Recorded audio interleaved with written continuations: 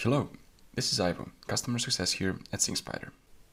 In this video, I'll show you how you can quickly integrate Dokan with any compatible third-party app using SyncSpider. So as we can see from our integrations page, Dokan supports sending products and orders as a source integration and adding products, orders, and order status as a target integration. So let me show you what that means. First, we need to create a new task Then we need to integrate Dokan. We'll start with the Dokan as source integration.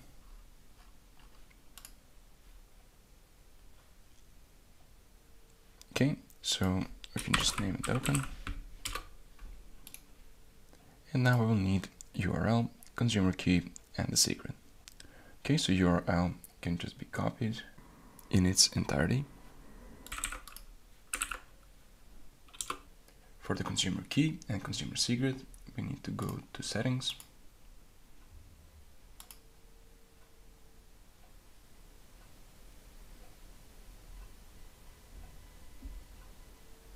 Then advanced. Then REST API. And we'll be able to add a new key.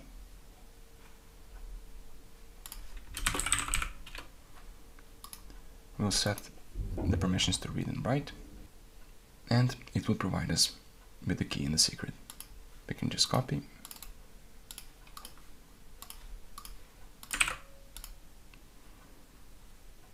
hmm, so we can use the HTTPS and it's been successfully integrated. The next step is to choose the entity that we want to export. In this case we'll use product. We'll choose an app that is very popular to integrate with Dokan, and that's WooCommerce. Okay, in order to integrate WooCommerce, we need to first name it. Then we need shop URL, consumer key, and consumer secret. And we will find them under settings, advanced, REST API, and now we have a key and a secret. We can just copy them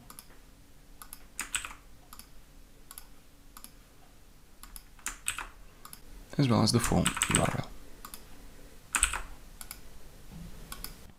Next step is to configure our Dokan source integration. We need to choose the vendor. In this case, let's choose vendor 1. We also need to select the UID. We can keep it in the SKU as well as the incremental import. We can just skip the filtering. And now we need to configure WooCommerce as well. We need to choose the UID, batch size, and all other attributes our auto mapping is complete. So we can run the task. We don't need to select any triggers as we are going to run it manually. We just need to turn it on.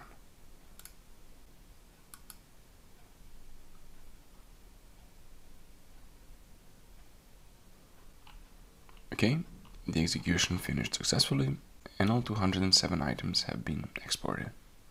In case you have any questions or concerns, please leave them in the comments below. Thank you for watching and have a wonderful day.